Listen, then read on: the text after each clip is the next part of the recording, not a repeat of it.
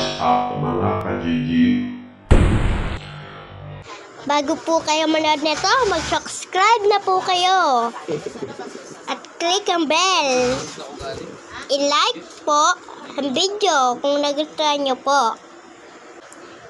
I-search nyo po ang pangalan na GD Butter. Makikita nyo po, makikita nyo na po ang mga video ni Kadigi.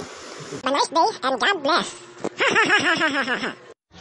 Thank you for watching.